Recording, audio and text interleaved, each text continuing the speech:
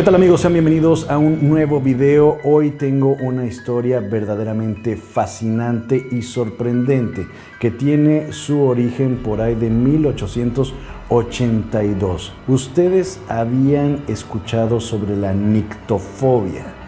Bueno, la nictofobia es el miedo a la oscuridad. Y para ser exactos, en mayo de 1882, un pequeño que llevaba el nombre de Ignacio Torres Altamirano falleció por tanto temor que le tenía al estar en la oscuridad.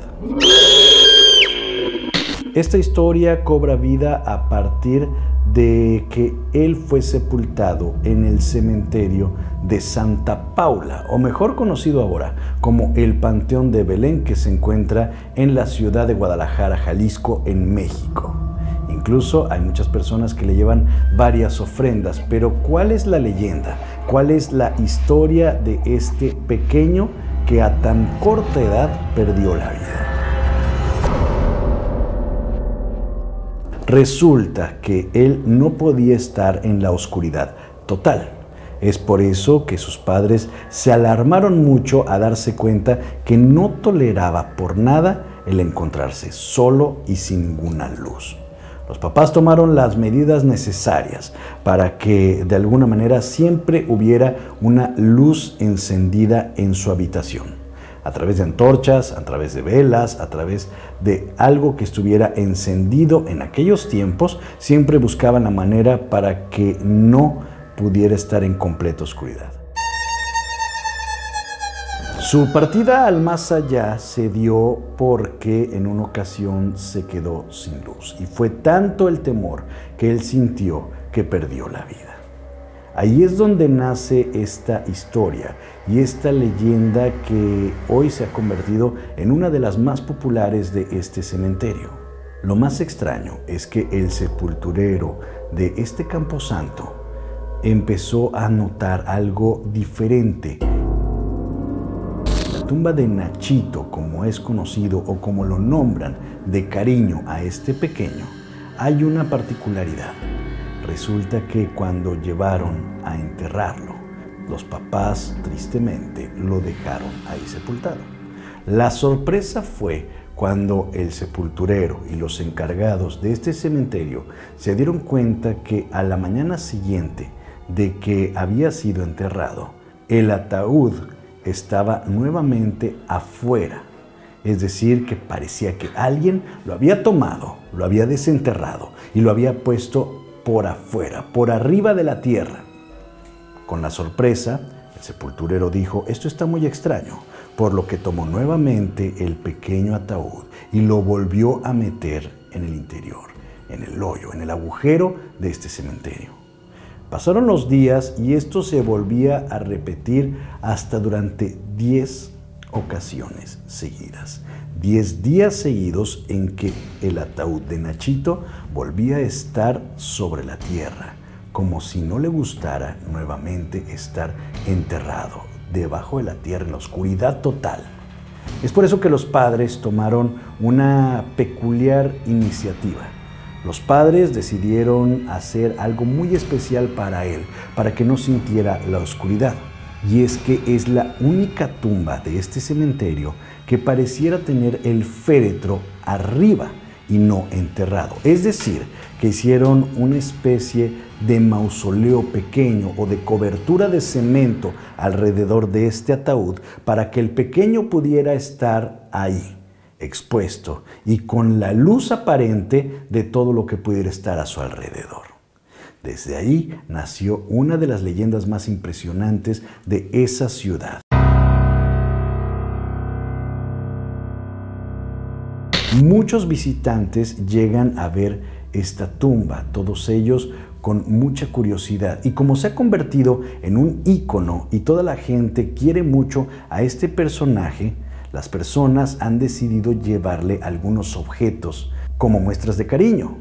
Carritos, peluches, pelotas, todo tipo de juguete puede verse alrededor de esta tumba. Lo curioso es que las personas que ahora, en la actualidad, que han pasado muchísimos años, todavía se dan cuenta de que pareciera que Nachito sigue rondando su tumba, pues han llegado a ver que estos juguetes parecieran moverse por sí solos, carritos que se activan de la nada, pelotas que se mueven, o algunos juguetes que cambian de posición y de estar en esta tumba los encuentran en otra parte del cementerio. En la actualidad este cementerio se ha convertido en una especie de museo, un museo muy diferente a cualquier otro, puesto que se cuentan todas las leyendas que ahí se generan. Pero Nachito es quizá la más importante. En las noches, en muchas ocasiones, en varios días de la semana se realizan paseos guiados, paseos nocturnos donde se cuentan las historias de cada uno de los muertos que se encuentran ahí. Y obviamente la de Nachito es la más visitada. Lo extraño o lo peculiar es que muchas personas han llegado a ver al pequeño Nachito jugar alrededor de su tumba. También lo han escuchado y muchos más aseguran que a las personas que van a estos recorridos en ocasiones les juega cierto tipo de bromas. Le gusta mucho jugar sobre todo con las mujeres. En ocasiones comentan que con los aretes en específico se los quita y pareciera que no se los devuelve, los pierden ahí muchas mujeres que visitan la tumba de Nachito. También a plena luz del día han logrado escuchar la voz de Nachito como de un niño que está jugando pero que nadie puede alcanzar a ver. Un niño que se encuentra ahí como si estuviera corriendo, como si estuviera con más personas, pero nadie lo puede ubicar del todo algo muy extraño, algo fantástico, pero que ocurre. En una ocasión a mí me tocó encontrarme en este cementerio y precisamente muy cerca de la tumba de Ignacio Torres Altamirano, mejor conocido como Nachito, y créanme que se siente algo muy particular. El hecho de que llegues y te acerques y veas todos estos juguetes que ya no caben, porque son muchísimos los juguetes que ahí le dejan y muchos son muy antiguos, empiezas a sentir algo muy extraño, como si alguien estuviera acompañándote en todo momento, como si alguien estuviera intentando jugar contigo y como si te estuvieran observando. Quizá se trate de la energía, del fantasma, del ánima, o como lo quieran llamar, de este pequeño que le tenía pavor a la oscuridad.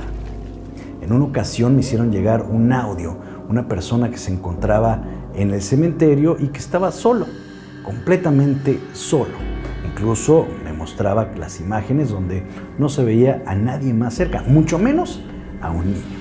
Recuerdo perfectamente que dentro de este material que él me pasó, había un audio muy especial donde cerca de la tumba de Nachito se escuchaba la voz de un niño diciendo, ¿me regalas un chocolatito o me das un chocolatito? Muchas personas aseguran que se trata de Nachito que está jugando con alguien que él quizás sí pueda ver, pero que nosotros no podamos alcanzar a distinguirlo.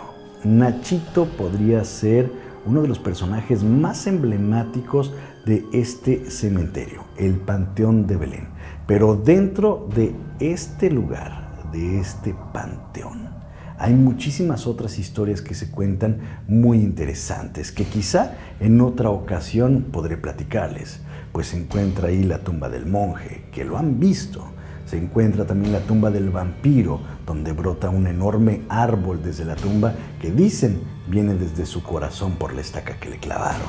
Y muchas otras historias más que se desprenden de este cementerio uno de los más conocidos y de los más temidos de la República Mexicana. Si quieren saber otra historia, otra leyenda o algo que se le parezca a estas manifestaciones paranormales, déjamelo en los comentarios y házmelo saber. ¿Qué otro tipo de historia te gustaría que yo te relatara?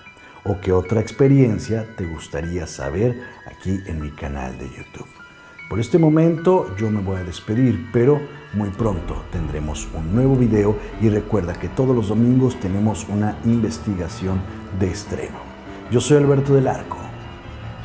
Hasta pronto.